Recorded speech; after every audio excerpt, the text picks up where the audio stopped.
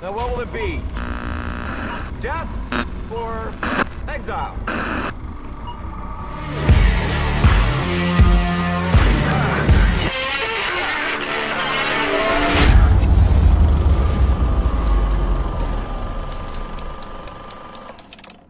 What's up, everybody? All of you out there in the cinematic wastelands, we made it. We kicked 2020 to the curb. We finally made it to 2021. And from all of us at the Film Exiles, we hope you and yours had a fantastic holiday season. And here's hoping for a much better 2020 2021. We can move all get all of this behind us. So, welcome to ENN, episode 51. We are your favorite podcast where we run down movies, entertainment, and much more. We're going to give you a hot take after hot take because you can't cancel us. We've already been exiles. And this one is a special one for us on the podcast today because we're going to run down our top films of 2020 and give you our recommendations. Now, this isn't going to be just going down the list, reviewing every single one of them, telling you why these are cinematic masterpieces. No, these are going to be why we think these movies are so great and why we think you should check them out as soon as you can. And since we're probably still going to be locked down for a few more months, you should have the opportunity to do so. I'm Chris. I'm happy to be hosting tonight. And I know it's a little bit of a different voice than you're used to, but don't worry. He's still here. He hasn't gone anywhere. One of my favorite exiles is on with us. Number one, the one, the only Lupe. What's up, man? Hey, I am here and I'm super excited for this uh, episode. I've been holding this top 10 like like like a secret, you know, and it's time to, you know, share my secret with the world. Um and my top 10 I, I know it's all subjective, but mine's going to be the best list. So that's just fact. I would expect nothing less. Next up, joining us uh, is, of course, it's Mr. Positivity himself. It's Paul. What's going on, dude? Uh, not too much, guys. I can assure you, my list will not be the best list. it will. It will be a list, positive. though. It, you've got enough positive positivity out of me the last few weeks. Uh, tonight, I'm, tonight I'm bringing it back to what you're used to. And we actually we had a full slate. We got all four of us tonight. I'm so happy to have him back. It's Brandon. Brandon, how are you, man? Doing good. I'm ready to get uh, re-exiled by the exiles. Let's go. I'm sure I have a few that are on here that you guys are gonna. Well, I normally have a few that are on my list that you guys think I'm. Well, you think I'm crazy already, so it doesn't really matter. yeah, exactly. So, so let's. What we're gonna do? We're gonna break this down, guys. We're gonna go in reverse order. We'll do our ten to six. We'll do our five to two. And then we're going to throw in a couple honorable mentions. Maybe there's a regret in there saying, I wish I watched this, wish this movie would have been made this year, but because of the COVID pandemic, it got punted, whatever it may be. And we're going to end it all on our number one movie, at least to us, our number one movie of the year. And hopefully we can give you guys a recommendation and we can tell you where you can catch these movies as well. So, Lupe, I want to kick this one off with you because I love hearing your takes on things. So, if right. you could give us a rundown, give us your 10 through 6 in no uncertain order necessarily, but and tell us why. Why are these, and what was your thought process behind it? What did you really enjoy about your ten through six? All right, so um, I'll start with saying that the year didn't go as planned. If you listen to our top ten most anticipated films of last year, so many of those movies were moved into 2021 or indefinitely. So um, it's been a year where we've had to, you know, claw and scrap for uh, movie entertainment and um, but still you know we're able i was able to put together a list of 10 films so without further ado let me get into my top 10 favorite films. And so number 10 is bad boys for life. Came out earlier in the year. I yeah i didn't expect it to be good but uh, the chemistry between uh, martin lawrence and will smith was really really good. If you liked the previous movies they didn't lose a beat. And then the directors who who brought this movie to the screens, they added some more modern elements. There's like a bad guy who has this crazy fighting style. There's some car stunts. It's kind of like Fast and Furious. There's some younger, more tech savvy, you know, uh, characters that that you know are infused into the franchise. So Bad Boys for Life, not the greatest film ever, but I was pleasantly surprised by that one. Then Midnight Sky from Netflix. Um, I've seen a lot of varying, you know, sort of like reports on this one. It's a very beautiful movie. It's a sci-fi film. It's quite still. It's from George Clooney. I don't think it's as good as it thinks it is. I know that's a weird thing to say. Um, some of the things that you see in it have been done before, but it's a very, very, very you know, good movie, and Mhm. it's my number nine. Then my number eight is Sonic the Hedgehog. I'm so happy that on there. Is- I am so thrilled you put that. this is like a kids movie. This is not like some highbrow, artsy, fartsy kind of thing that I tend to love. But it was just so darn enjoyable. And you know, the the best thing about it is how they nailed the character of Sonic himself. We've never really gotten a cinematic representation or anything fully fleshed of this character, but they delivered the character in such a way that I'm like, this is what I imagined Sonic would be. This sort of like cool speedster, and he's just so affable and and you know it's really good. And then Jim Carrey, Jim Carrey lately has been kind of hit or miss. Oh, he's a smashing hit in this one. This is like throwback, like '90s classic, top tier elite Jim Carrey, and I can't wait to see what they're gonna do in a in sequels. And uh, Jim Carrey's obviously gonna come back and he's gonna grow in his role. I really recommend that. If you haven't seen it, you see it. Then now this is one that might be on nobody's list, but is on mine. It's the rhythm section, Mm. starring Blake Lively. Um, I really enjoyed this film. It's uh, it's kind of a genre that's been done a lot. You know, a female assassin. Um, but this one, there is a maturity maturity to it.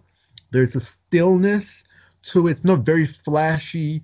She doesn't turn into some sort of like Rambo or ninjutsu warrior kind of assassin. It's about a regular woman who, due to tragic events, becomes motivated, and she really goes on on this powerful journey, and quite realistic in the way it approaches this this subject. Um, I think it's it's one that if you haven't seen, you should check out. I'd recommend. Then my number six is The Hunt. And Mm. wow, this movie kind of came out of left field. Um, it's like a, a political satire slash dark comedy. And what I really enjoyed about it is that it tackles its political subject from, you know, both sides of the aisle. So it's not like it's li- written by liberals and it's just attacking, you know, conservatives, or it's written by conservatives and it's attacking liberals. Mhm. It lumps everybody together and, you know, has some really interesting commentary on who we are as politically divided people fighting for, you know, what it is that we want, fighting for survival, period. Um, so those are my t- uh, 10 through 6 to reiterate. Bad Boys for Life is number 10. Midnight Sky was number 9. Number 8, Sonic the Hedgehog. Number 7 is the rhythm section. And number 6 is The Hunt. Nice. And it was good to that's a good, you know, I guess you say bottom of the list. And I I liked what you said about the hunt because I heard that from a couple people too. Like they said it didn't overly try to be like that crazy political. Um like one-sided crazy political. Mhm. Like it bought both sides of the table, but when you first watch it or you first hear about it, you, you what like you might actually be leaning towards one way or the other and you shouldn't. You should watch the movie for yourself and make the decision. So, that's cool. One of the things I like about what we do here is we we bring different sides to it. And Paul, I'm going to go with you next because you might bring your family and your daughter and what she enjoys to the mix as well. Because I know sometimes watching the movie isn't just about your own enjoyment; it's about whether she enjoys it too. So let's let's get you next. Start with ten and go through six. Sounds good. Yeah, I think you took the words right out of my mouth there. It, uh, I mean, I, I I rank my movies based on entertainment. What what movie did I enjoy the most? What movie do I think I'd rewatch the most? Um, and part of enjoying a movie is is when you watch it and who you watch it with. And I think what we're going to see here in in my bottom five here, uh, my ten through six, is that it really is influenced by by who I watch these movies with. So. Number 10 for me was Enola Holmes. Uh, that's the Millie Hmm. Bobby Brown, Henry Cavill Netflix uh, movie based on a series of children's novels. Uh, we enjoyed this as a family. Watched it with my wife and daughter. We all enjoyed it. Um, it's not the greatest thing you're ever going to see, but it was enjoyable. Uh, family entertainment. My daughter enjoyed it enough that she's got the book. She's going to be reading the book. So for me, this was a win. Um, I enjoyed this one. I hope they make more of them. I think it was pretty good. Only thing I wasn't crazy about was turning and talking to the camera constantly, which is something I don't particularly enjoy in films. But but I'd recommend this one if you have a kid, especially if you have a daughter. Um, I thought this was a fun movie. So Soul, or sorry, uh, Enola Holmes was my number ten. Um, gave away my number nine there. Soul would be my number nine. as as you guys know, I'm a I'm a I'm a Disney Pixar shill, um, and I enjoyed this one, but I didn't love it. And and it's a well-made movie. This is a movie that I think is a better movie than um, than I than I actually enjoyed it. If that makes sense. So it probably deserves to be higher. I just I was a little bored. I felt like some of it uh, was reminiscent of things I've seen before, and while it was well made, and I really particularly liked the uh, uh, the music from uh, Trent Reznor and Atticus Atticus Ross uh, when they're in the um, whatever they call it, the in between world. Um, it, it's a good movie. I'd recommend watching it, um, but not not enjoyable enough for me at least to put it higher than number nine. My number eight was another Pixar movie. That is Onward, and this was the last one I saw. Should. No, I'm kidding. Go ahead. yeah, yeah. So you see the theme here, right? These are all family movies so far. Um, number eight was uh, Onward. It was the last movie I saw in theaters. Uh, so I enjoyed this one. I didn't love it. Again, normally uh, the Disney animation and the Pixar movies are, are real high on my list. And um, and these ones are coming a little lower than they normally would, but I still found this entertaining. This was Tom Holland and Chris Pratt. It was a fun movie. Um, it just felt like a bit of a miss for Pixar. Like I, I'd put this just a hair above um, uh, the dinosaur one. I'm skipping. It's uh, the last dinosaur, which I think was the last dinosaur. What, whatever dinosaur. it was, the bit, the good dinosaur. That's what that's I think. Yeah, good dinosaur. Yeah, the good dinosaur. So this to me was not high end Pixar, but still good enough to make my top ten in, in what really I mean was a was an odd and weak year for movies. Uh, number seven for me, and this is going to surprise some people. Robert Downey Jr.'s Dolittle. I, I like this movie. My daughter Poor Paul, liked we've it. been tearing you apart about Yeah, this. we, we had a good time watching this movie. We both enjoyed it, and I didn't understand the hate. I really didn't. And So uh, you, you you really liked the fart jokes and the poop jokes. you know what? I, and I said this before, and I hope I'm, this isn't a spoiler. I, I don't think anyone listening to us is going to care if I spoil Dolittle for them.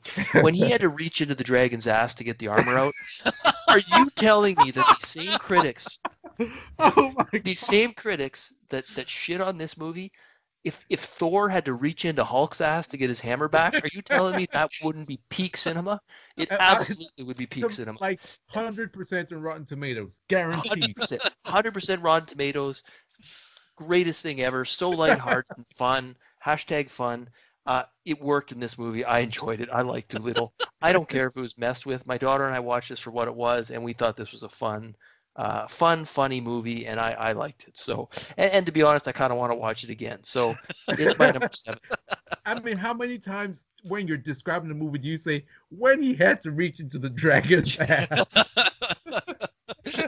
Uh, do little Ragnarok. You tell me if that happened in Thor Ragnarok, anyone would have complained. I, I can't I can't wait for Th- uh, Thor: Love and War because it's going to happen, and Patty Jenkins is going to be a huge fan Oh, of it. You already absolutely, know. absolutely. Uh, now, my number six, very comparable on a you know a cinematic scale to Dolittle, is Tenet. I um, Wow, Whiplash. yeah. so so this is the first one that is not Was a that family compliment movie. or on Was that an insult? I'm joking. Yeah, no. you know what? Um, I I kind of like. I saw Tenet once. Uh, I enjoyed it, but I didn't love it. I was a little bored. I had trouble buying into the faux physics, and to be honest, I spent more of this movie trying to figure out how they shot these scenes than I Mhm. did really engaged in the story. Um, and it wasn't bad. I would say that it deserves a second watching, which I've not been able to give it yet. My ranking might go up on a second watching, but for now, based on my just just my initial gut reaction enjoyment level, I'd put this one at number six. So that's where I'll leave my 10 through 6. Just to summarize 10 Enola Holmes, 9 Soul, 8 Onward, 7 Dolittle, and 6 Tenet. And I will pass it on to Brandon next. All right, so- Uh, I have trouble with with rating movies and giving them a scale. Um, just because some movies can't be compared. You can't compare uh, a movie like Sonic to a movie like Tenet. They're just not in the same ballpark. Um, so basically, I just put my my initial right off the top of my head score into Letterboxd and sorted it by score, and that's kind of where I'm at right here. Um, so uh, starting at number ten, I'm gonna go with Midnight Sky on Netflix. Hmm. Um, I like myself a nice, simple sci-fi movie. It's not trying to be super grandiose, but it was very well acted by George Clooney. Has some really good visual effects. There's Hmm. uh, a great, uh, gorgeous shot on the moon of Jupiter that just Mm. kind of takes your breath away and you say i want to live there um, but ultimately i just really enjoyed it for a nice small sci-fi movie um, number nine again with netflix i'm going with uh, the babysitter killer queen Hmm. I don't care what anybody says about McG these babysitter movies are fantastic i laughed my ass off the entire time i love a good horror comedy that's ultra violent um, it it repeats a lot of the same jokes from the first, but the, it does it just well enough. Kind of like Home Alone 2, where it's the exact same movie, but somehow it still just worked. Uh, so I still really liked it. Um, number eight is going to be Bill and Ted Face the Music. Oh, And wow. Oh, wow. the reason why I've got this here is because the trope. This is just kind of the movie we needed right now. It was just. Oh, I, I see was, what you did there. it, it's not trying to be a, a fantastic movie. It's trying to be Bill and Ted, and it succeeded in that. It was kind of dumb, but I, I just I kind of felt good at the end of it. And so you know what? That's kind of the movie that I needed to watch at that moment, and I really dug that. And I'm glad that they put it on streaming for people to watch. Um, number seven is Invisible Man. Hmm. Uh, excellent switch up on that instead of making it a monster movie, making it a, a movie about domestic abuse, uh, and just kind of flipping the tables on it. I love the sci-fi element to it Mhm. of the suit. the The action was well directed. It's not a huge action, but the scares are there. Uh, Leigh Whannell is def- definitely one of those directors that I really enjoy watching right now. Um, and it's really cool seeing you know the guys from Saw have kind of taken over the horror genre, and I really I'm happy about that. I'm such an ass. I still haven't seen that movie yet. I still it's, have yet to see it. it's quite good. The performances all around are good. The visual effects are minimal but very effective. I've heard that. Um, yeah. And it's it's just a good, solid uh, horror movie. It's it's not trying to be anything big. It's not trying to be a a universal monster movie. Okay. It just was a great story and it grounds it in a way that works really well. That's cool. That's good. To hear. Um, uh, and my final one uh, for this section is going to be Underwater with uh, Mm. Kristen Stewart. That movie was awesome. Uh, I wish I would have seen that in the in the theaters. It is very very claustrophobic, alien like. You don't know what's going on out there, and it it, it really just kind of reminded me of watching Alien or The Descent, uh, and being uncomfortable. And then you get this big twist at the end, and I was like, okay, that's kind of fucking awesome. Uh, so I, I found myself thoroughly enjoying that way more than I thought I would. Um, and that's going to be the end of the first section of mine. So uh, that's going to go on to you, Christian. nice. Give us the what was the quick rundown? 10, 9, 8, 7, 6, Oh, just the yeah. titles. So yeah, uh, number ten, Midnight Sky. Mhm. Nine, uh, Babysitter Killer Queen. Eight, Bill and Ted Face the Music. Seven, Invisible Man, and six, Underwater. Awesome. Ju- Just to just to interject and not to interrupt, No, no. in a in a twist of fate, Underwater is one of my least favorite films of the entire year. so, sorry, sorry to go to go against you like Damn that. it, I, Lupe. agree- I I agreed with a lot of your picks. I did, but um, just to you know let our our our uh, audience know that you know we do tend to clash sometimes. We're not Hey, just like a hive mind, You an echo exiled, chamber. I'll just Oh, chalk exactly. that. So don't worry. You, you're going to tell us why we're wrong about a movie, Lupe? No. No, no, no, no. I'm not saying that, but no, no. That's not how we solve things here. I'm, I'm, I'm, I'm kidding around. We're I'm, gonna play, get I'm playing on our Wonder Woman 84 from last week. Our three-hour marathon Wonder Woman 84. no. After Paul, this maybe you just don't understand how water works. I guess. No, no. This is how we're gonna solve it. After this podcast, we're gonna get in a cage match and fight to the death. I think it's after 2020 with this Mad Max Fury Road world that we've come into with the apocalypse. I think it's it's it's, it's the right thing to do. You know. It's- for what it's worth, I, I did like Underwater. I didn't. It didn't make my top ten, but uh, the only thing I didn't like was that comedic guy. I thought he killed the movie. But other than that, I, th- I thought it was pretty good. So I, I tend to agree with Brandon a little bit on that one. And and Invisible Man didn't make my top ten, but it was it was a solid movie as well. So We also need this- this to this sell in gives- movies. Just throwing that out there.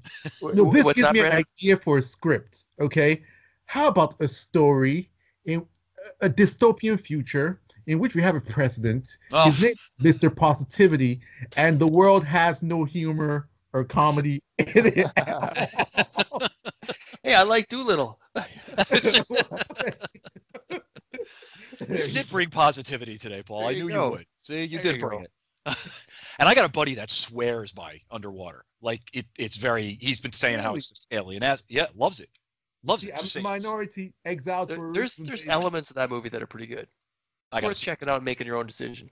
For Lupe's sake, I will watch Invisible Man first, but I'll then I'll watch Underwater after. So, um, so at least I can be somewhat respectable. Um, so my my top my ten through six, you guys actually mentioned two of the movies, and like Brandon, I have a score, but outside of my top two, these rankings are pretty interchangeable and.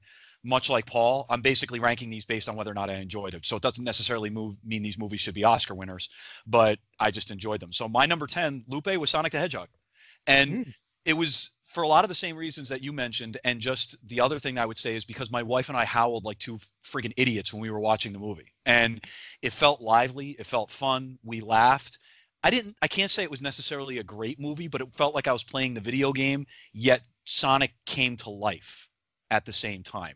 And it was just a fun movie to watch and that was it. It made my top 10. And, and with all the bullshit that went on behind the scenes with it, I actually liked the redesign of Sonic. I thought it was pretty good, his redesign. So, my number nine, I don't know if you guys know about this movie, but it's a documentary that I think should have gotten a little more play. It's called Collective. Uh, it's a movie about the 2015 Bucharest cl- uh, uh, fire that, that ripped through a dance club. It killed 27 people.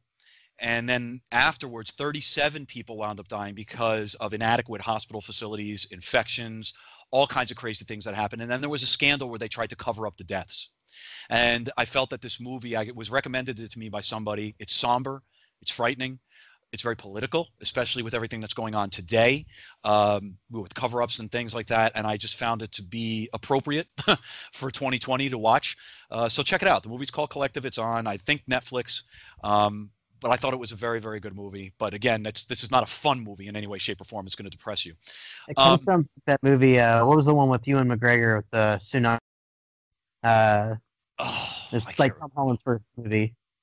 remember. you know what I'm talking Oh. Yeah, I can't remember the name of it. This is a documentary, so it's a little Okay. different, but it, it's it's still. I know where you're going, but it's definitely it's an eye opener. Number one, I think it's I think it's a topic that needs more people to learn about it. Number two, and it's just very it's going to beat you up a little bit. When you get to my top two, one of my movies will beat the shit out of you, but this is definitely one that's going to beat you up. You're going to feel sad when the movie's over, but you know I just think it was important.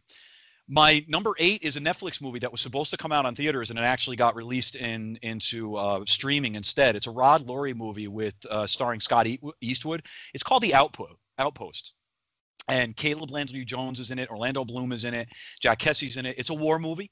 Uh, it's about the Battle of Kamdesh that happened during the uh, War of Afghanistan, and it's all centered on this one outpost all by itself in the middle of enemy territory where incursions are happening all the time and it's just basically the united states military kind of forgot about them because it was very difficult to resupply this outpost and these men are left on their own and an attack happens it's claustrophobic it's frightening the war footage is incredible and i actually have to give scott eastwood some credit because i don't find him to be a great actor and i thought he was very good in this movie i thought he was very believable so check out the outpost that's on netflix my number seven like paul is enola holmes and you know what? You you broke that down pretty well, Paul. I don't really have much to add to that. I just found that with the exception of like her turning to the camera, breaking the fourth wall, stuff like that, I found it to be a highly entertaining movie that I was able to watch with my niece and nephew, and we just had a full lot of fun with it. And I love the Sherlock Holmes mythos, and I thought Henry Cavill brought something to the table in that movie. It was enjoyable. I'd love to see a sequel. So that's number seven for me.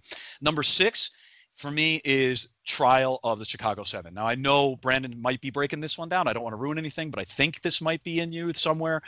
There's so much about this movie, the energy, the courtroom drama, Um, obviously, the historical aspect of it, and of course, it's Sorkin. I thought that the movie was done very, very well.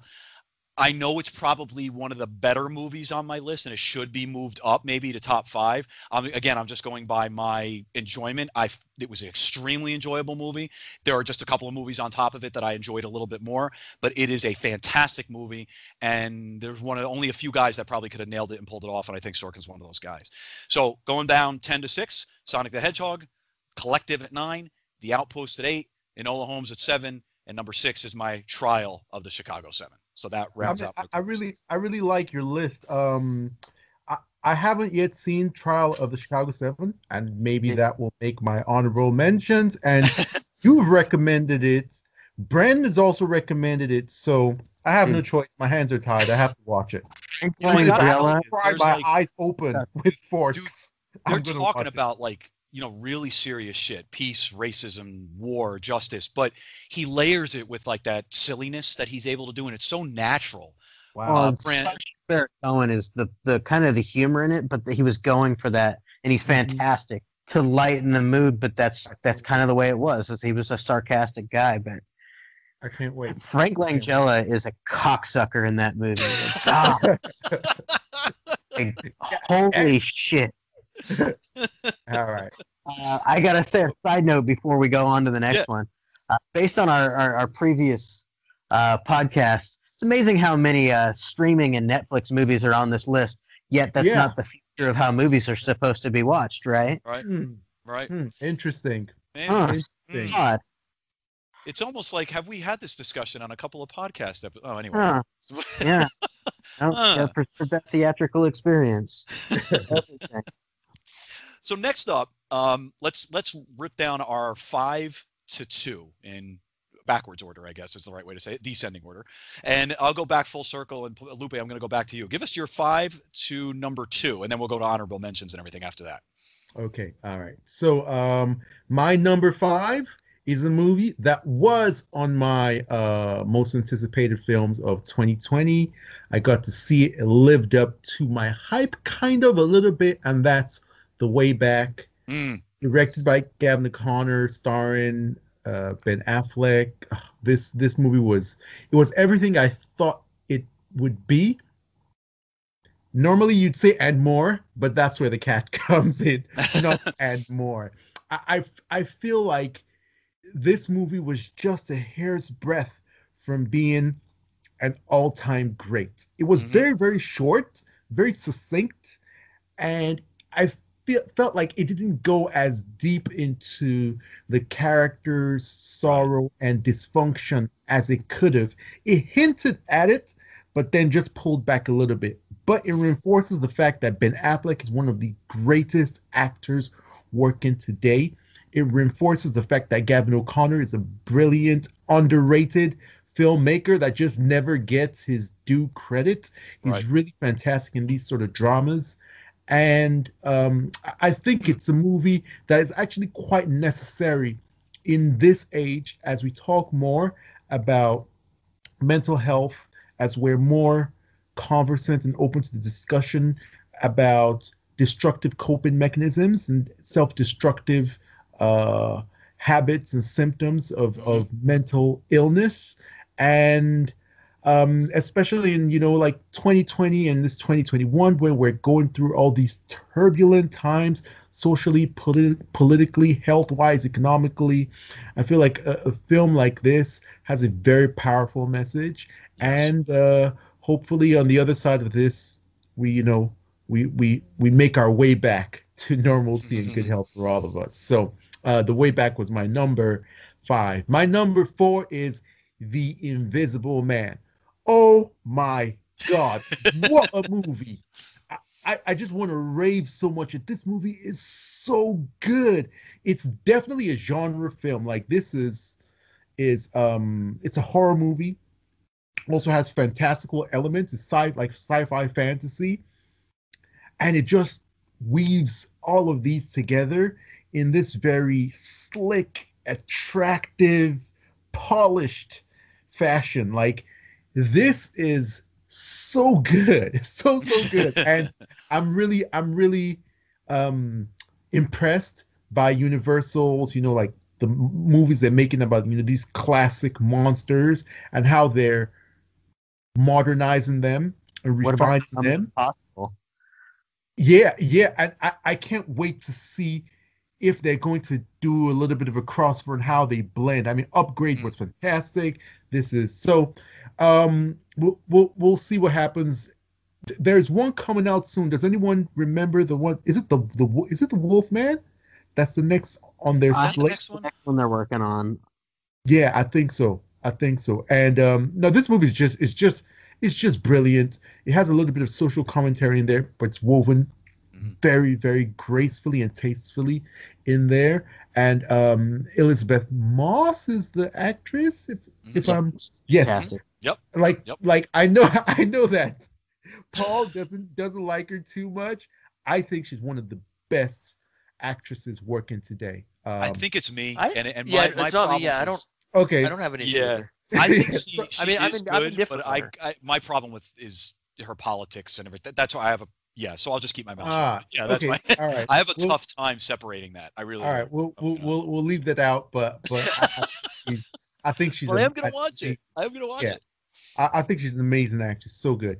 Then my number three is The Five Bloods. Mm, The- Mhm. Wow, Spike Lee like Well- really, Spike Lee really did his thing. It was released in the summer, which is far from uh, awards season. I'm just hoping that awards voters don't forget how good this movie is. It's also one of Chadwick Boseman's, you know, last roles.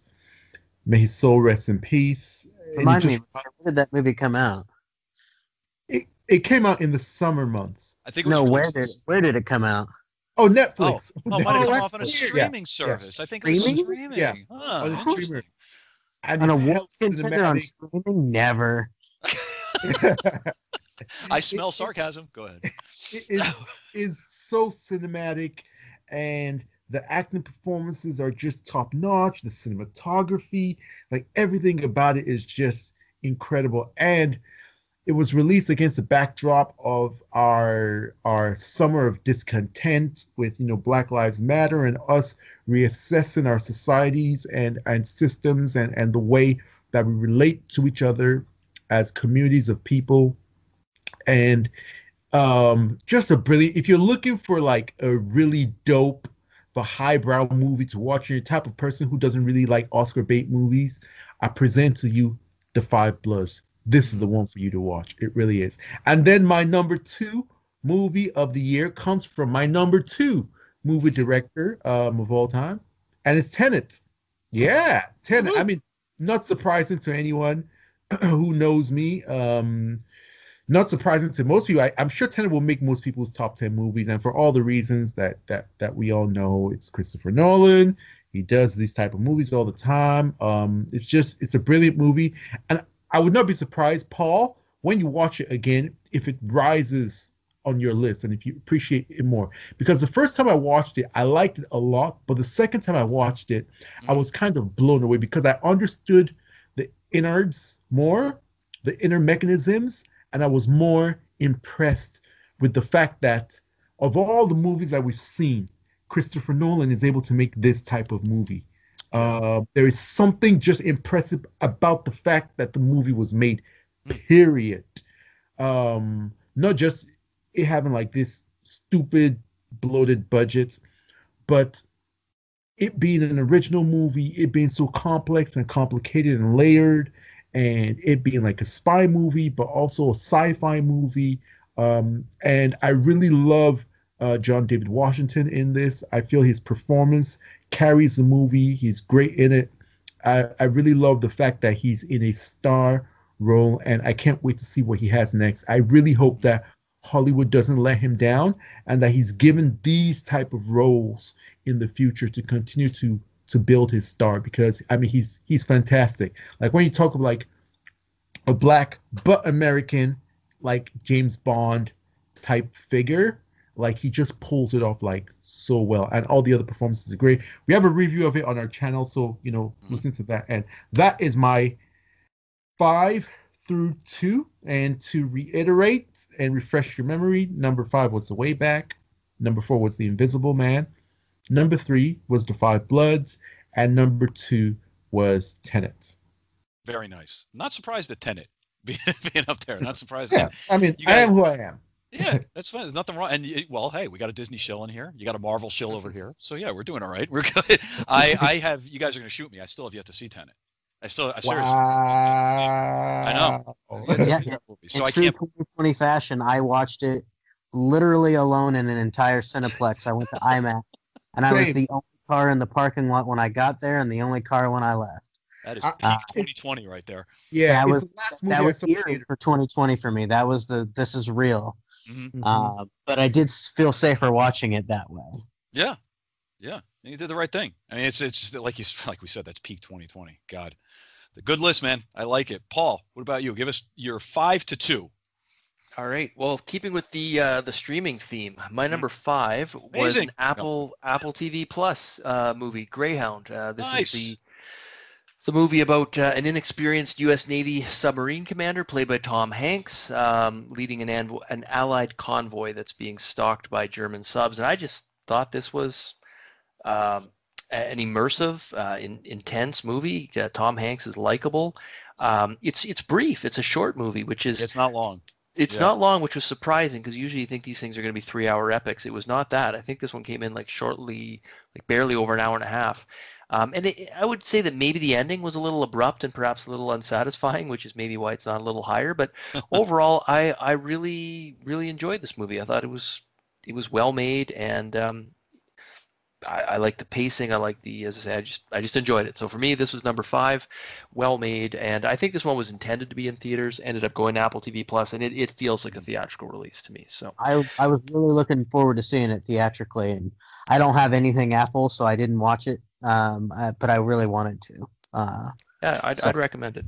Yeah, I got. It was definitely. It's not on my list, but it was a pleasant surprise, dude. So I absolutely agree with you. I finally got a chance to watch it. I thought it was good. It was it was good. I I I, I agree with, with everyone, which is uh, maybe rare. There now you you're exiled. Based on that alone, all four of us said it was good. That's that's endorsement a enough, right? That's a Well, watch. I didn't see it, but I figured it would be good, and I wanted to see it. So No, it's it it could have made my top ten. It really could have made my top ten. It's it's not far from from the top ten. All right. Well, this one, Lupe, I'm almost certain uh, you're saving for for your top uh, your top. My number four uh, also premiered simultaneously on streaming and theaters. Wonder Amazing. Woman 1984. Are you? Oh, Oh my god! I was wondering if somebody was going to pull it into the top Yep, ten. I'm, I'm pulling it into my top five, and, Oh, and that is This That is not- a villain. It's a super villain now. so. If you want to hear Lupe trash this movie for two and a half hours, I, I refer you to episode 50 of ENN. um, but I, I just enjoyed this movie, and again, this goes back to who are you watching the movie with? And my daughter was excited about this movie. We sat down, we watched this thing. She had her Golden Eagle. Uh, Wonder Woman McFarlane figure while we watched it, and she she was enamored with this movie, and I enjoyed it uh, through her, and I and I also found it entertaining for myself. I mean, this is a highly flawed movie, as we discussed, um, but I still found it entertaining. Two and a half hours. I wasn't checking my watch. I liked it.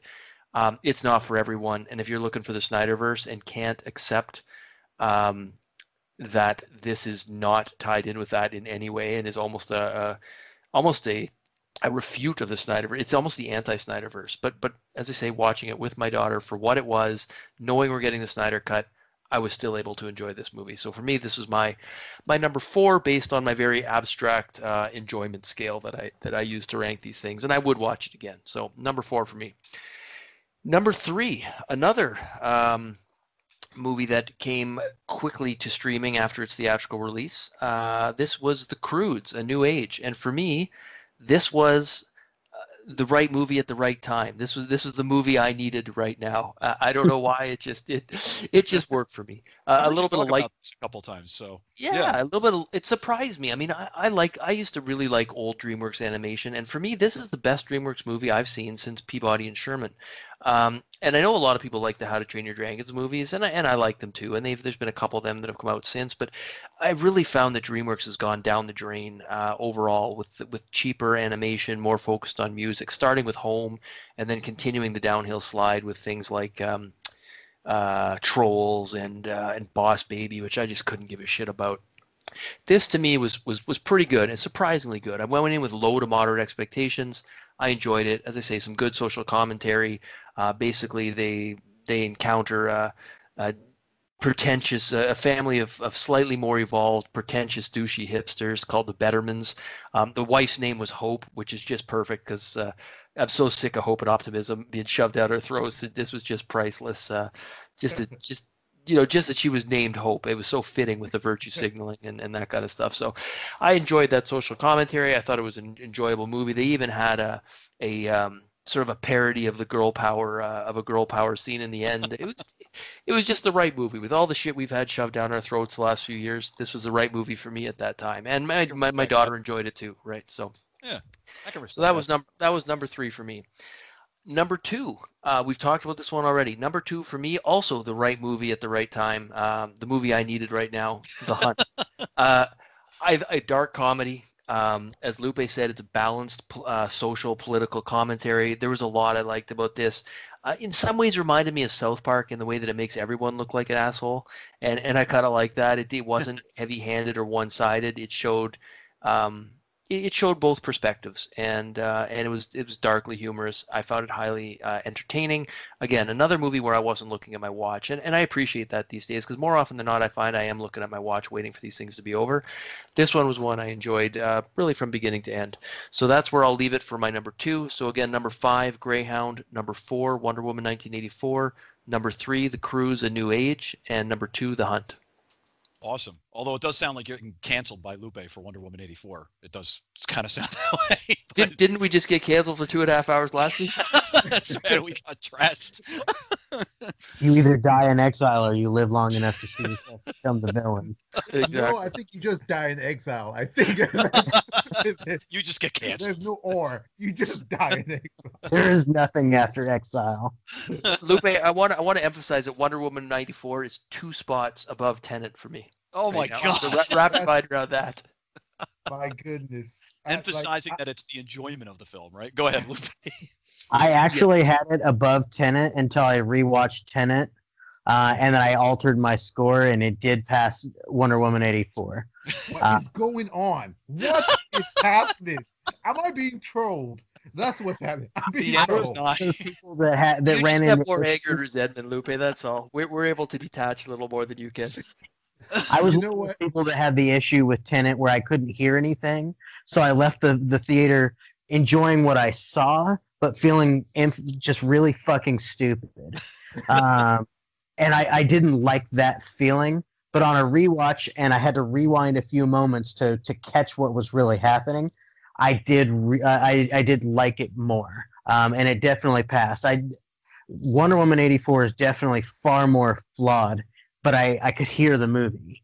Um, so uh, that, that's I, I understood what was happening. I just it, it, what was happening was infinitely dumber, where I felt dumb in Tenet. So that's where my rating was. But I just so you know, Lupe, Tenet is above Wonder Woman eighty four. I, I will I will hold that close to my heart as the last the last hope for humanity. And with with that, Brandon, why don't you do it, man? Give us your five to two. Uh, so number five, I'm gonna go Soul. Cool. Uh, it's it was just a good Pixar movie. Uh, I've said before, it's very much kind of like Inside Out for grown-ups. Inside Out is about the inside of a girl's brain and the the change of emotions and and things like this. And this was much more uh, geared towards grown-ups who who don't know what their purpose is, who who think that they're doing the right things and they're just not. And I really I, I just liked that grown-up feel that kids can enjoy it but that it's really speaking to grown-ups and actually i i, I think toy story 5, uh, 4 was very much that way too Mhm. where it's still enjoyable to kids but the those toys grew up with us and now they're going their themes of just letting go and being able to move on and things like that and i, I really like where pixar went with it Yeah. and I love Trent Reznor and Atticus Ross, and they actually did a great job with the the more classical jazz moments, and the music was great. I love jazz, Mhm. um, I love blues and and things like that. So that part was great, and then it switched to more traditional uh, Reznor in when they're in the in between or whatever it is, where you kind of get that what Lupe calls noise, uh, where it, it just kind of fit where they were in the movie. So the being able to see Trent Reznor and Atticus Ross grow into a, a more of an orchestra and less of a synthetic sound was really good. But all in all, I, I just like the Pixar movie that, that aimed at, at adults more than Mhm. kids. Okay, uh, nice.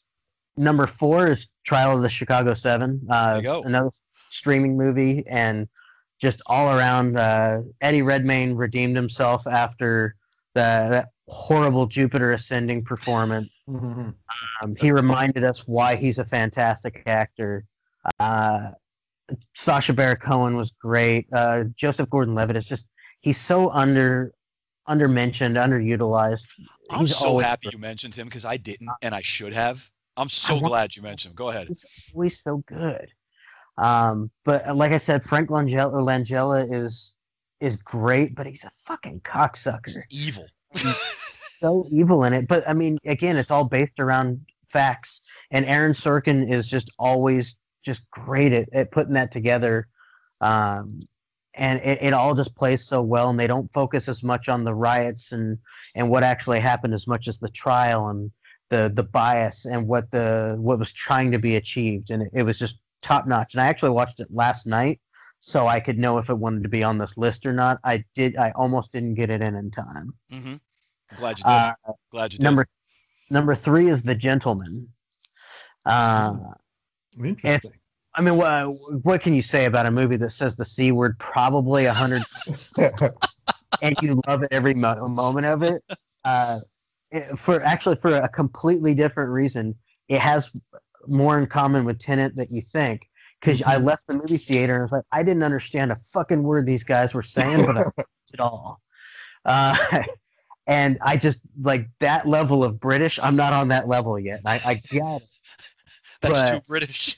it, it, it, it- it's too British. but I love Guy Ritchie's style. I love his quips. I love his editing. Um, why am I blanking on his name all of a sudden? The the main guy who was in King Arthur. Charles He's Hunnam?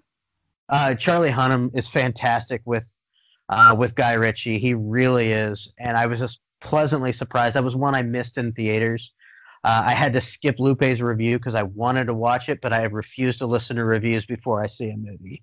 Mhm. Um, and I, I, I just blind bought it the day it came out on streaming and absolutely loved it. I love Guy Ritchie. Stop making Disney movies if you if you're listening to this. Uh, Guy, we know you're listening. keep being an auteur. Keep giving us Guy Ritchie movies. We deserve them. Um, number two is The Way Back. Hmm. Uh, it's just powerful, and it's the other way from what Lupe said. Is it's not what I expected of the movie. I expected a sports movie, and I normally don't like sports movies. Hmm. Uh, but it's not a sports movie. It is an emotional movie. It's a, it's a movie about depression and about a man who struggles. And as somebody who's who fights depression, it, it really meant a lot to me seeing what he went through and the fight and his inability to cope with his emotions and his willingness to self-destruct. And it, it just really, really spoke to me. And it's set against the backdrop of a sports movie, but that's not the point of the movie. It's not rah rah, we're all going to win in the end. Yeah. And Yeah. it, it freeze frames at the end on somebody getting a slam dunk. No, man, it's it's depressing. It's heavy Mhm. and it's I- uncomfortable. I, I just want to. I just want to. I just want to say something before you move on about it. That, um, as you said, it not ending like on this sort of cliched happy note that Mhm. he overcomes also goes to point to the fact that it shows a realistic view of mental health and depression. Like it's an ongoing struggle. It's not just- something that you know there's like a happy ending and oh it's completely over. And also people who go through you know mental health crises and you know in their life tend to lose things you know you lose relationships you lose whether it's opportunities or jobs or things like that like usually there is a toll and you see the character you know pay the price right. and Right. he's not able to get it back. Sometimes that just happens in life. Like sometimes we lose some things and things are easier to lose than to get back. It's just it's lost. There's nothing you can do to ever get it back and it showed that. And while that's atypical of movies, the the realness of it I appreciate it. It was And very authentic. I think, I think And I- people should, should see. Go ahead. No, no, no. I, I agreed with you. It's something that Okay. people should see. It's and, and like I said, as somebody who who has depression and has kind of suffered, not not nearly like that character has, um, but I really found myself in his shoes. And when he was self-destructing, I saw my, some of myself in that, where you're unwilling to do what you need to, even though you know you should. You make excuses on why you you can't or why you won't. Um, but every single time that he he would self-destruct, I'd feel myself like reaching for the screen, saying, "No, just please don't. You're hurting yourself." And I just I felt so aligned with that character, and I I left the theater in tears, and actually recorded my Exile review in my car, Mhm. just kind Remember of that. just raw, and Remember I, I really felt it, and I I loved it. I don't know how quick I can watch it again because it's heavy. Mhm. Um, it's kind of like seven pounds. I man, I can't watch that movie again, but God, is it heavy? Yeah. Uh, Yeah. So yeah, that's uh, Oh. so number five is Soul. Yeah. Down. Mhm. Uh, number four was Trial of the Chicago Seven. Uh, number three was uh, The Gentleman. Number two was uh, The Way Back. Nice, nice. And we're, I, one of the things before I go my five to two is listening to you guys. It's so awesome to hear about how each of these movies like affects you in a different way. And it's like funny, like we'll have one guy will have it at two, another guy will have the same movie at ten, or vice versa. It'll be ten, it'll be three, or whatever.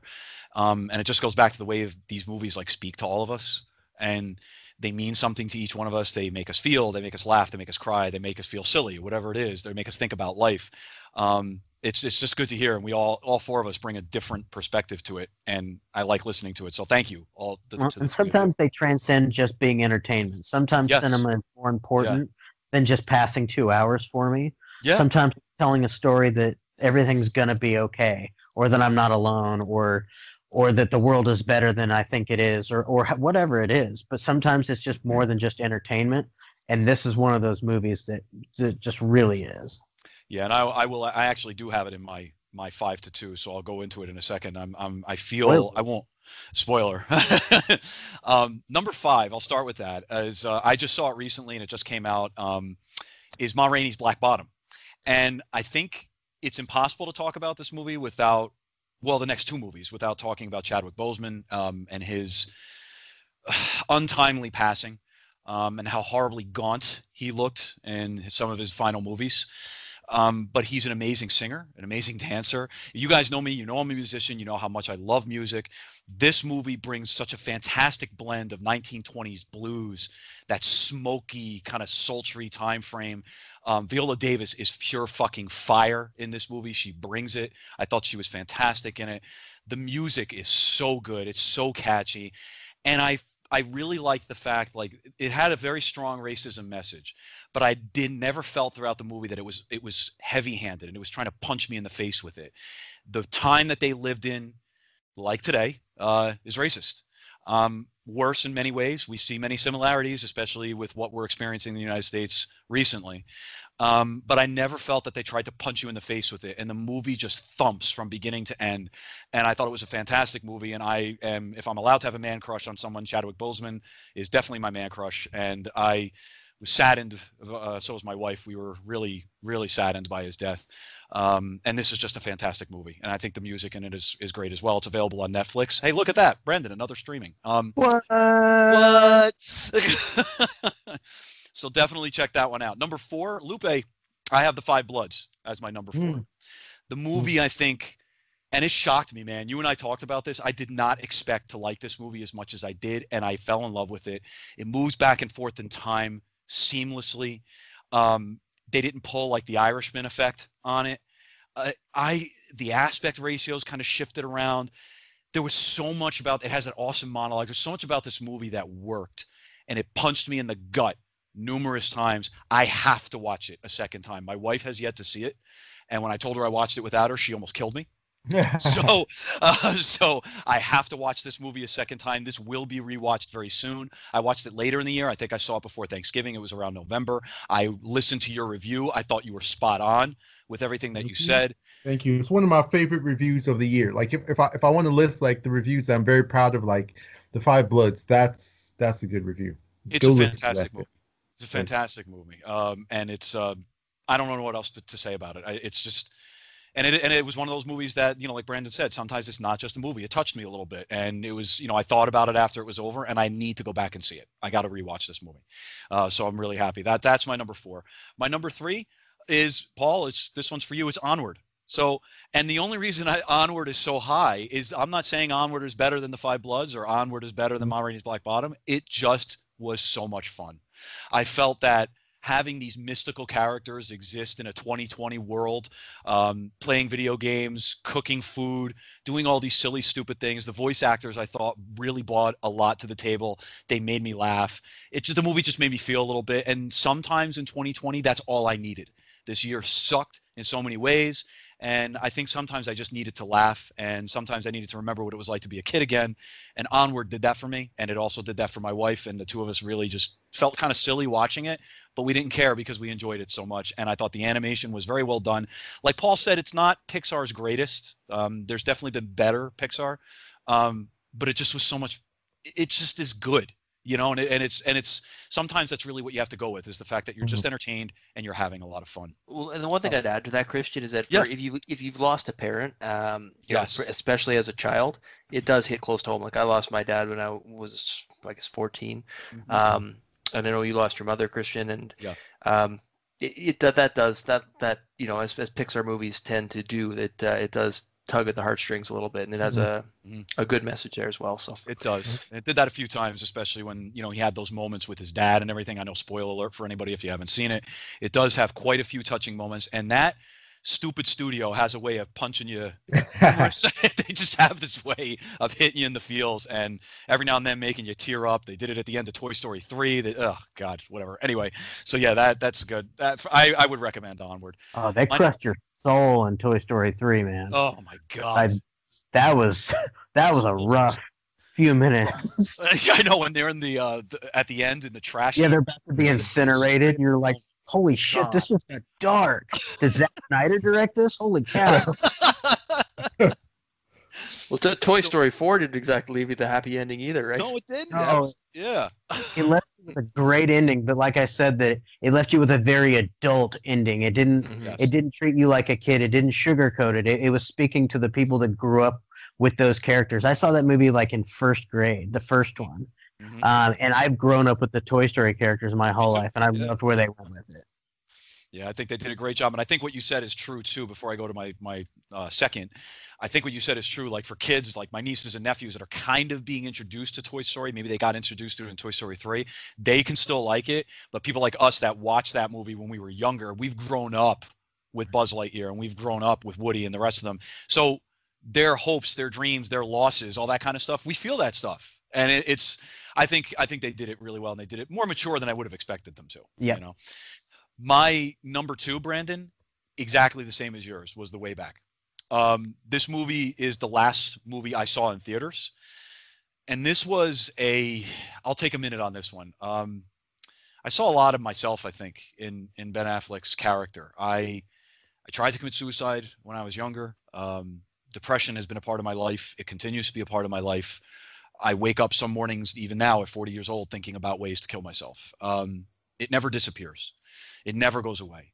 It is a sickness that I'm going to have to deal with till the day I die. And this movie did not hold back from beginning to end. And it was painful. It was a rough ride, but the performances are so good. I you saw some of Ben being Ben in this movie too, not just his character. I've liked a lot of what Brandon said. This was not just a sports movie. This was a human movie. It didn't end the way a sports movie is supposed to end. When he's shooting those three pointers and he's just playing on the court by himself, and you could feel that maybe he's starting to come back, but you don't necessarily know because of everything he's done in his life. He's always found a way to fall back into that hole. It just punishes you from beginning to end, but it is a truly human experience. And the sports is really secondary to that human experience. And it, it, I'm almost brought to tears talking about it, so I'll shut up. But it was just a powerful movie, and mm. In in many ways, like I said, I think it just made me think about as well what I would leave behind if I were to go through with some of the dark thoughts that are in my head.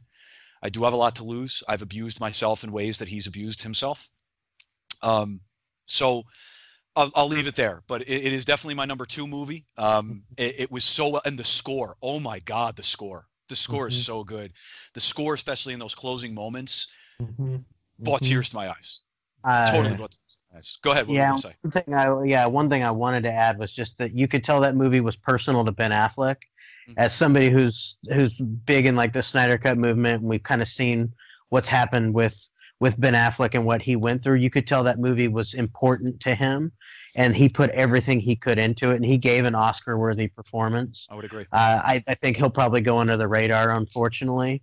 Mhm. Um, but I, I think he deserved it, and you could just tell with what he went through that it was important to him, and that's part of what makes it important to me. Is it wasn't just a role for him; Mhm. it was a way for him to cope with what he went through with his alcoholism and his depression, and trying to come back from that. And you know, he appears to be better now, which is fantastic, and he deserves to be. And you know, the, uh, it just it spoke to me a lot because it wasn't just another movie, another role. It was something that, that meant something to not only the audience but the people that made it. I agree.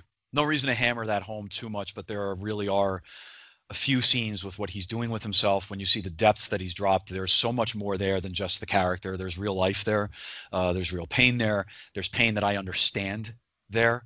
Um, so as I said, I'm getting a little choked up over it. But this was this was just a fantastic movie, and it, it deserves maybe deserves to be my number one. But there was another movie that I just enjoyed a touch more, so that's why it is. But The Way Back is my number two. So to t- count down my own number five, Ma Rainey's Black Bottom. Number four, The Five Bloods. Number three, Onward, and number two, The Way Back. So those are my five to two. Um, so Lupe, I'm going to start with you on the next one. Before we go to our number ones, I wanted to know if you had, and you could as many as you want. You know, if you had one or two, whatever. uh, Did you have any honorable mentions? Were there any regrets? Was there a movie that you're like, yeah, you know what, I really wanted to see it this year. Should have jumped into it. So talk about it. What What are some of the things that were outside your top ten? Um, I would say that um, well, this is a top ten list of of movies or films, and I have this personal thing, Mhm. okay, and it's it's highly debated. and the debate is usually between I and Brandon, to be specific. And don't worry, we'll add this to our list of um of cage match fights to have where we settle it. But I, I don't consider animated movies to be movies. I, I feel like it's a different medium. You you can do different things. It's not to me, it's just not a level playing field for which to to to compare them. I know they're both moving pictures, and obviously even films incorporate a lot of visual effects, but to me it's just not the same thing. Mhm. So um, I do want to take the time to highlight an animated film that I think was just absolutely like, whoo, mind blowing, super fantastic, extravagant, excellent, got me hyped, and just thinking about it just like makes me so excited again.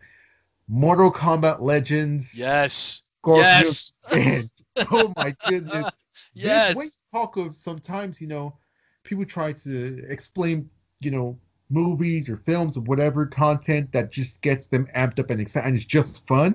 That's what Mortal Kombat Legends is. It's so much fun. Um, obviously, there's a huge nostalgic uh, facet to it, which I completely admit. Seeing these characters that I grew up with since playing like Mortal Kombat 2 all the way to Mortal Kombat 11 that that's recently come out. I know these characters. I've I've grown with them, and to see them, um, you know, portrayed in such a a, a respectful, loving, um, badass way was just so so satisfying. And one thing I really like about Mortal Kombat Legends Scorpion's Revenge, very long title, is that even though a lot of people see Mortal Kombat as quote unquote cheesy or oh it's just crazy fun, it took itself seriously, but the way it was able to interject some cheese and some fun and that sort of element that some people may associate with like you know the 90s film is through a single character, mm-hmm. Johnny Cage, who that sort of tone comes naturally to Right. who he is. So it wasn't like everything was cheesy and you know clownish everything was really dangerous and badass and hard ass.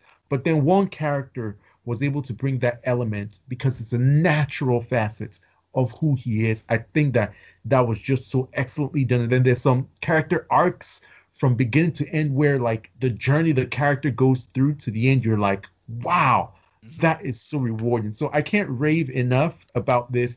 It's one of my favorite things of the entire year. And um yeah, that's that's I'll give that one to my honorable mention. Then on, on the a dishonorable mention is um, Wonder Woman 1984. I, I'm going to add a dishonorable mention. I usually don't talk about films that I don't love because I, I can't help but laugh. I I'm love- sorry. But this this was such an atrocity. I never expected this movie to be that bad. Mhm. And I know that some people have it in their top 10 and they're like, Lupe, you couldn't just let it go. No, I couldn't. You're, you're reading my mind, Lupe. I couldn't. So there, Please, there please keep go. this under two and a half hours, my God. there we go. No, no, no. I'm, I'm not saying anything. You guys, you guys, if you want to hear what I have to say about it, I have a review and we have a spoiler review. And um, if you want to hear more, follow me on Twitter. I'm constantly, constantly. Once in a while. I can't help myself. Once in myself. a while. It's like an addiction. I'm like, I'm gonna stop after this. Okay, after this, after these couple of It's a drug, man. It's a drug. Uh, Uh, that is uh, before I move to Paul. I, I just want to say, like, I agree with you with Scorpion's Revenge. Holy shit, was that thing enjoyable? That was just what a lot of fun, and and I thought the you know the little they did the X-ray motions when they were Mhm. cracking Yep. each other in the skull and everything. It was just, it was so much fun from beginning to end, and like you said, it was made with love because they really loved these characters. They didn't chintz on it at all. It was so good. It was so good. So, Paul, what do you got? Do you have any honorable mentions? Is there a regret in there somewhere? Do you have a dishonorable mention?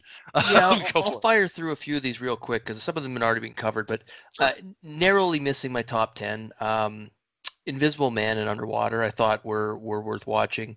Um, and Bill and Ted's Face the Music, I think, go moving back to the family side, I thought that was a good one. Narrowly missed my top 10. Uh, but those three have already been talked about. So I'll use, um, I'll say the one and only Ivan. Again, this is not like something you're going to sit down as, a, as an adult male and watch by yourself. uh, but if you have kids, it was a nice, it was a nice Disney movie, right? It was, uh, it was a fun movie. It's based on the uh, the Roald Dahl, I believe it's Roald Dahl. It's based on a book. Um, I'd have to double check that. But anyway, I mean, my daughter enjoyed the movie. She's read the books. There's sequels to that. So again, this was one that I enjoyed with my daughter, and I thought was a fun movie. As for regrets, um, I guess a rhythm section. It was one I was really looking forward to, and it just it came and went without a whimper. And uh, I meant to watch it, and I suggested it to my wife one night, and she was lukewarm on it. And then I, until Lupe mentioned it tonight, I totally forgot about it. I just forgot it existed. And so I, I do regret uh, not seeing that one. And I will actually put that on my short list to check out sooner rather than later. And the other one was The Way Back. And I had mixed feelings on that because, like Brandon, I don't typically like sports movies. But at the same time, I, I wanted to support Ben Affleck. Um, I suspect this is a really good movie and one of those movies that when you do sit down and watch it, you're going to enjoy it. Mhm. And like you'd stated, Christian, I do have some fears about watching this because I have a feeling that it might hit a little too close to home and that my wife might Yeah. take away my tequila collection and maybe maybe ban wine and beer at dinner and and I'll probably know she's right and I'm not sure I'm ready for that. So Um, give up drinking at the end of this movie, in all honesty. what, what's that, Brandon? I said you might give up drinking by the end of this movie. Yeah, and I'm not sure I'm ready for that because I don't think I could make it through a week without without a drink right now. So uh, I, I gotta I gotta come to terms with uh, come to terms with that before I put that one on. So uh, those that, that's that's my short list right there of movies that uh, either I narrowly missed my top ten or that I I probably should have seen and maybe will sooner rather than later. Good ones, bro. Good ones. Brandon, hit us with you. Any uh, honorable mentions or any regrets?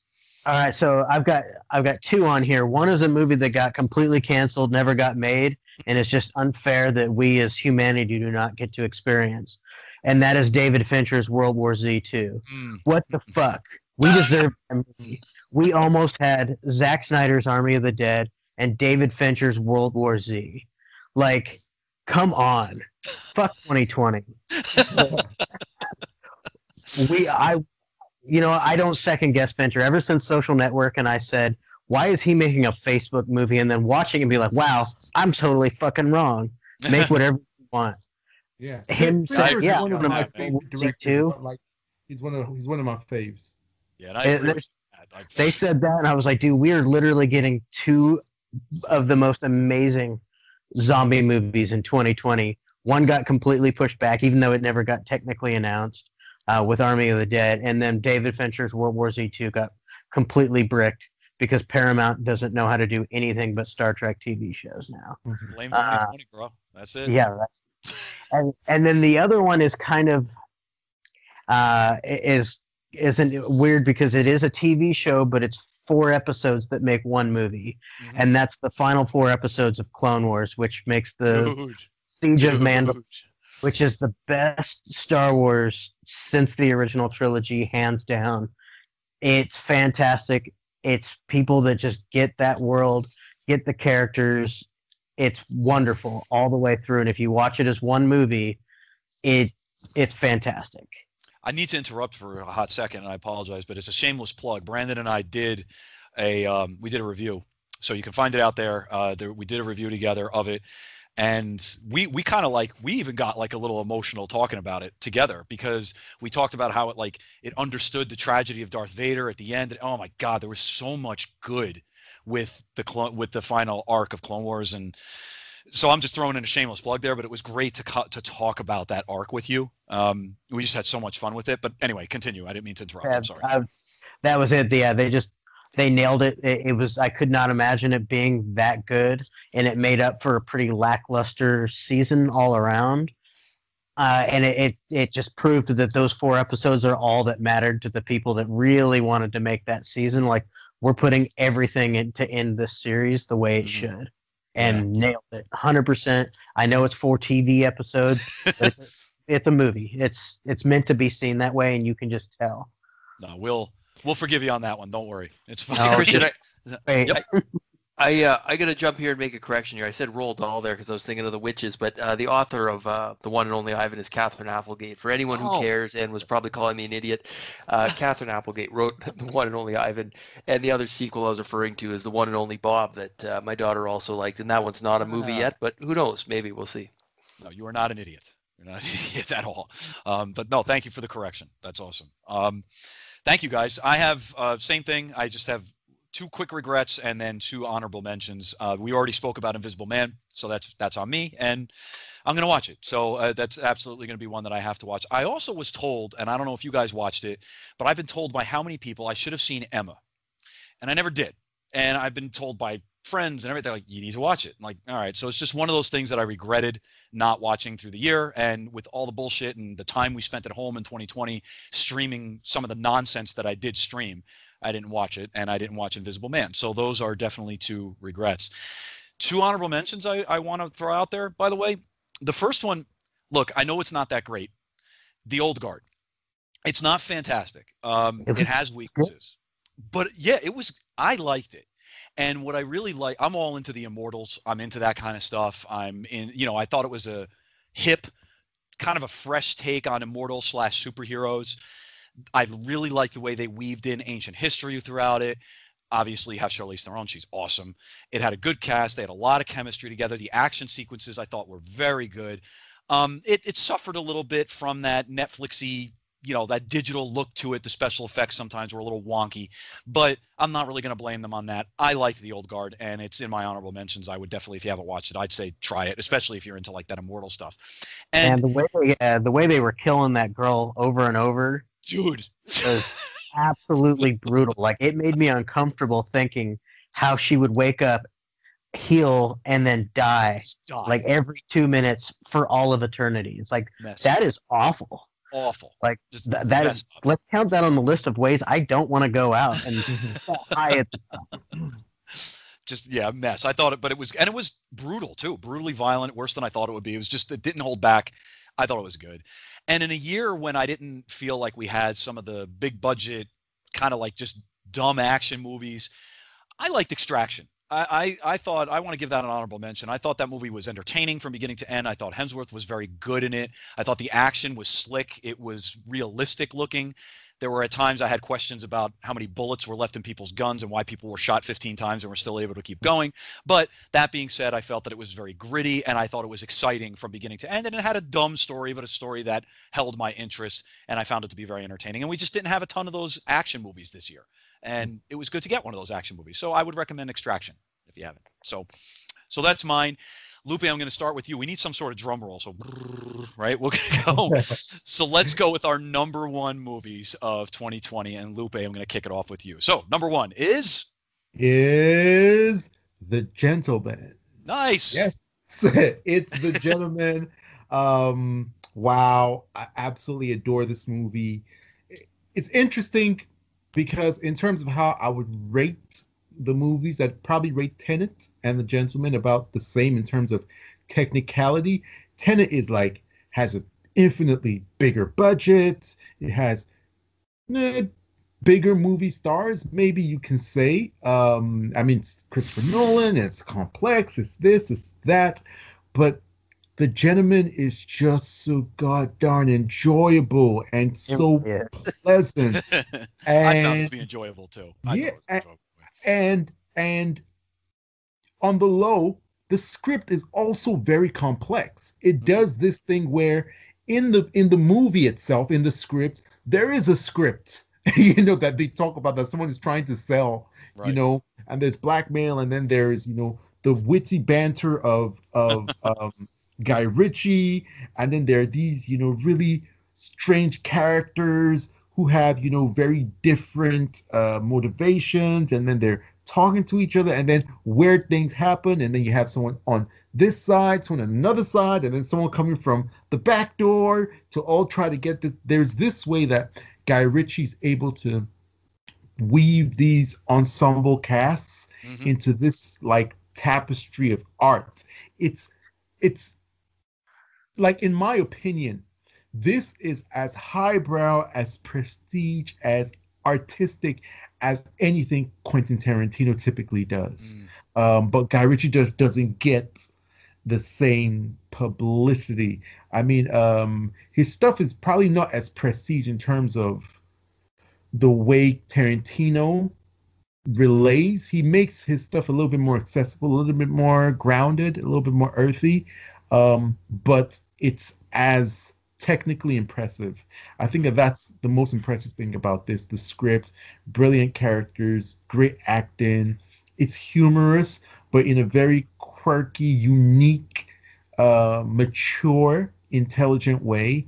And i just i cannot recommend the movie enough. It's my favorite film of 2020 It reminds me how much I love Guy Ritchie as a director. Um, it's a shame that it went straight to theaters. This is a movie that would have rocked on a good streaming service. Um, if it was given a highbrow, like prestige treatment and rolled out like an event film on a streaming service, I think that this would have done a lot better than. And I think I revealed to you recently, mind blowingly, that it is becoming a series, and Guy Ritchie is writing and directing the series. I am Wow. I'm so excited to Wow. I'm so excited to see that. I'm really and he said that he originally intended it to be a series, and Universal said, "Hey, how about not?" and he said, "Well, I could make it a movie," and they're like, "Yeah, that's what we're Yeah. talking about." Yeah, and then it gets big, and they're like, "You want to make a series?" And he's like, "Well, yeah, that's what I wanted originally." that's uh, that's exactly what and I, I feel like unfortunately I feel like Guy Ritchie should be someone who makes like event streaming content. Mm. Um because Do it. people yeah people just don't seem to go see stuff in theaters and it's always so good like king arthur like King the Arthur man from U.N.C.L.E. like even the sherlock holmes movies haven't been like the most amazing huge blockbusters ever um, there's something about his films in which they, they're more you know medium smaller films but they're so well done as i said he's like quentin tarantino but without the awards and prestige um, reputation, and that's what the gentlemen far is. more polished than Ta- Tarantino, uh, but doesn't get the the recognition that Tarantino does. Tarantino writes very very well, Mhm. uh, but Guy Ritchie's movies are much more slick. Uh, Yeah, much more, more people I know like talk about how they enjoyed them. You know, like there, I, I've heard people just talk about the enjoyment factor, which that's Mhm. key. You know, that's key. Mhm. Saying that, you know, using that slick term and everything, it's you're absolutely right. And people turn around and say, "Oh yeah, you know what? That movie made me laugh. It made me whatever." That that's important too.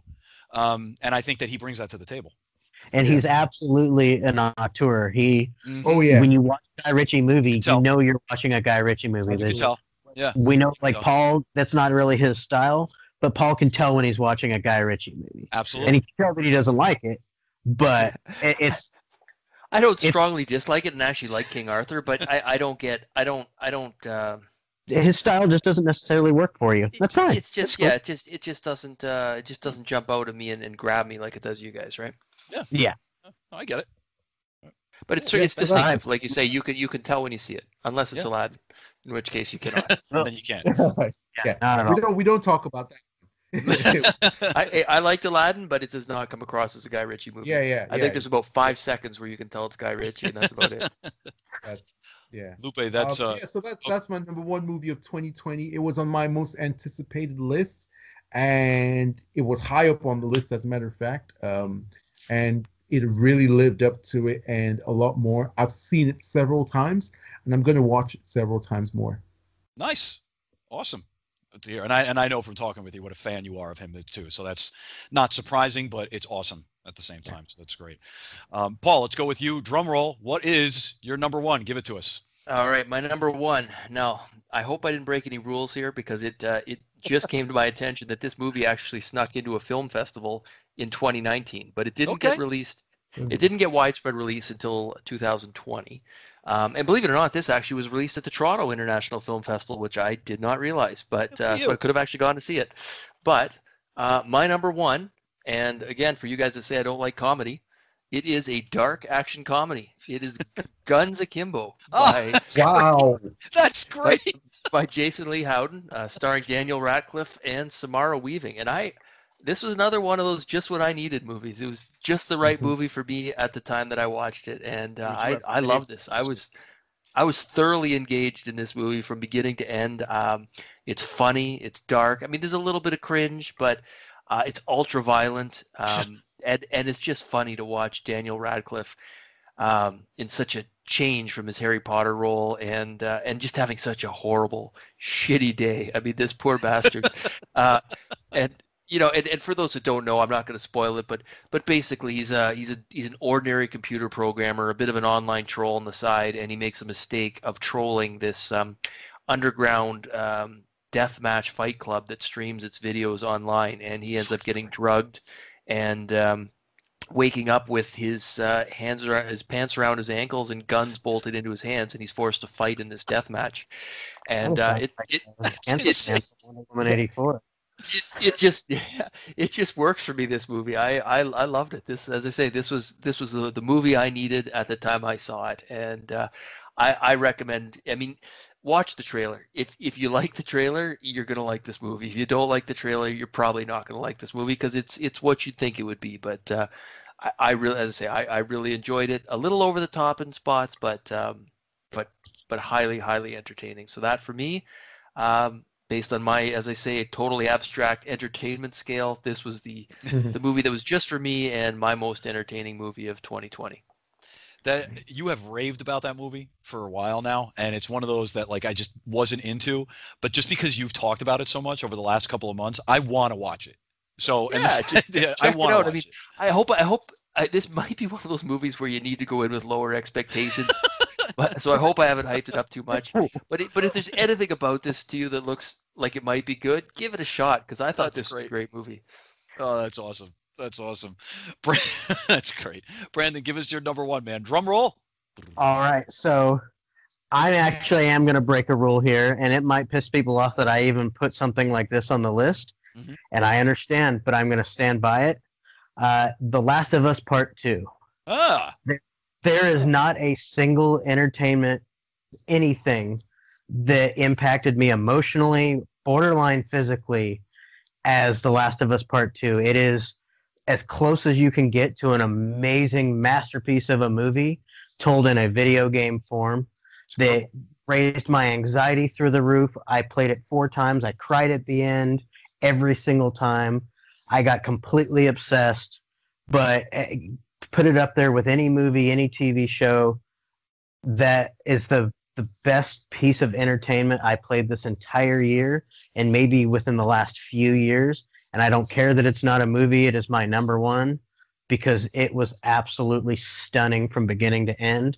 And it, it just really, really impacted me in a way that I only normally expect from a movie. Mhm. Um, so I'm putting it on there. And Lupe, I don't care if you just. I know you liked the game, but if you don't like animated movies being in the film list, then I know you don't want a video game in there. Yeah, so so we're no longer doing our cage match. I'm just gonna bomb you. I'm just gonna throw a bomb. I, I Like, was, I'm not even fighting fair. Forget it. I was Can, can, can I go online and watch the cutscenes, So- guys? Yeah, Would that would that tell the story without playing the game? you need to Yeah. experience. um, you got to experience the game, man. I You got to don't It deals with so many layers of emotion and and and just it's such a cinematic game. It is. It is. I, it is. It is highly cinematic. It is. Uh, It is. And yes. like I said, I know I. That's why I, I claimed ahead of time this was a curveball. Nobody was going to see it coming because it doesn't necessarily belong to be on a film list. But I think it broke into a realm that is far beyond being a video game. Um, and it, ga- it gave me emotions that I felt in The Way Back. It gave me horrific emotions that I felt in uh, The Old Guard with how somebody you know would wake up and die every five minutes. It was horrifying. Like underwater, it hit almost everything in my top ten except uh, like it wasn't the, what I needed at the right time. Like like Mhm. Bill and Ted, I felt awful at the end of that game in the best way possible. There nothing good happens in this game, but you get to the end and you're like, that was the most amazing experience I've had. And it didn't come from a movie or a TV show it it came from a video game and i cannot stress it enough that that broke down the barriers i mean other games have have done that as well but it, it's a, a playable movie in every way shape and form and it looked the part too it was brutal from beginning to end. And again, another shameless plug. Lupe Brandon and I did a review out there. It's it's on the uh, Exiles network, the Exile, sorry, the Film Exiles channel. It's on the YouTube channel. You can listen to it. We really went deep into the game. Lupe asked us a lot of questions about cinematography, music, everything, the story, um, and we really went hard on it. And we all three of us loved the game from beginning to end. I think Mhm. Lupe, you did too, right? You loved it as well um, just a fantastic experience and um yeah I, I would say you can watch the cutscenes probably somewhere paul but you're going to lack something in an experience because being a part of that and making the choices that you have to make in that game hurts it hurts and it's just when you get to the end of it you are beaten up as as uh, brandon just mentioned but it's just in a good way at the same time and it, it's an I've never experience it's something so you have to more experience. aligned with a character throughout an entire process Mm. than i did in that game and part of that comes from you have to play one the first game Mhm. but you have to ex- experience and play the second to Yeah. really under to, to get in the shoes of of the character that you have to play for the next 10 hours Mhm. and you uh, the, you have to be able to buy in and i don't think watching it yeah. does that justice yeah. And I think the most important thing is that there is something about two characters, and you have to you have to walk a mile in their shoes. yes. Yes. Absolutely That that's something that's very important to the dramatic sort of like tension and there's this there's this I don't want to spoil anything, but basically what I said, you have to walk a mile in the shoes of two characters who are opposed to each other to really feel what the the the, the moral, of the lesson of the story is. yeah and I, it took massive risks that only a studio like naughty dog could take mhm. that is in a position in its career that they could make a game that alienated as many people. It's very brave. It's very bold to say, "I'm going to make a game that some people may not like." Mhm. And I that's the sign of a of a true visionary, in my opinion, is to not take the easy route and not make things that you know everybody's going to like. That's the Disney route. Make something that's going to challenge people that might piss people off and Mhm. let people talk about it. And I that has far more impact to me than anything that's just trying to make you feel good and move on.